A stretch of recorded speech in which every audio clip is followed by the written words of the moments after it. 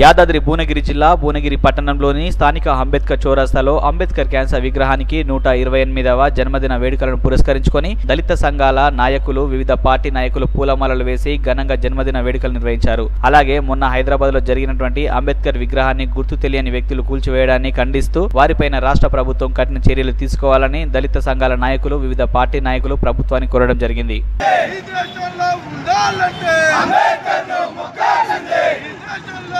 రెండు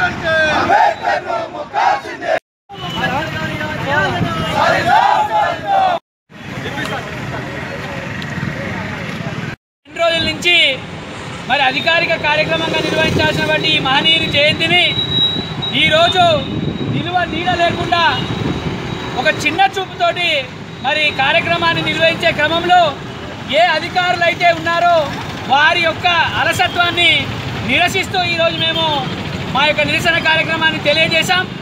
బాబాసాహెబ్ జన్మదినానికే ఇవాళ బతిలాడుకోవాల్సిన పరిస్థితి వస్తే మరి భారతదేశం యొక్క ప్రయాణం ఎటువైపోతుంది అనేది విఘ్నులైన అందరూ కూడా ఆలోచించాల్సిన అవసరం ఉన్నది.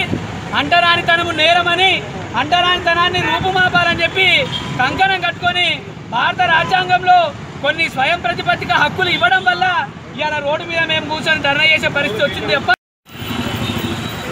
అంబేద్కర్ గారి జయంతి యొక్క సందర్భంగా ఈరోజు తెలంగాణ జనసేన ఆధ్వర్యంలో భువనగిరి జిల్లా కేంద్రంలో అంబేద్కర్ విగ్రహానికి నివాళులర్పించడం జరిగింది.